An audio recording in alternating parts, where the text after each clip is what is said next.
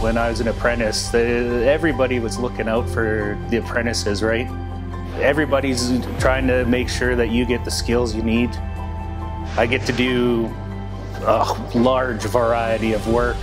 I'm not just doing uh, working at a certain plant. I get to do like in this job conveyors. Another job I'll end up be doing like a ball crusher mill or something. Very big variety.